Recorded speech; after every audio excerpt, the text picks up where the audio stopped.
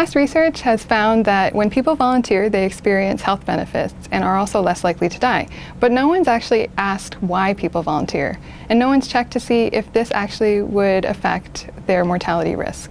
We used the Wisconsin longitudinal study, um, which is a study of older adults. It's been tracking them since they graduated high school, and they're now about in their late 60s.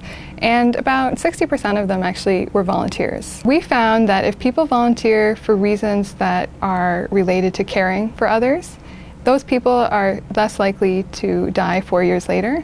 And if they volunteer for self oriented reasons or for, to experience some sort of benefit, for themselves, actually, there is no benefit uh, in terms of mortality risk. In our study, we couldn't actually, we didn't really test for why um, this, the motives matter so much, but in other work that we're doing, we're looking at this exact question, and we're finding that somehow um, when people have other oriented motives, it activates uh, sort of a lowering, a more relaxation in the body. Uh, so Hormones such as oxytocin are released, which helps people to rela- relax, and also their heart rate can go down. So, overall, we think the reason why we're finding these results is because of lower stress.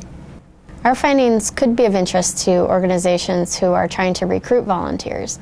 It's really important for volunteers to work with organizations. They do a lot of social good and provide services, and organizations depend on volunteers for the work that they do.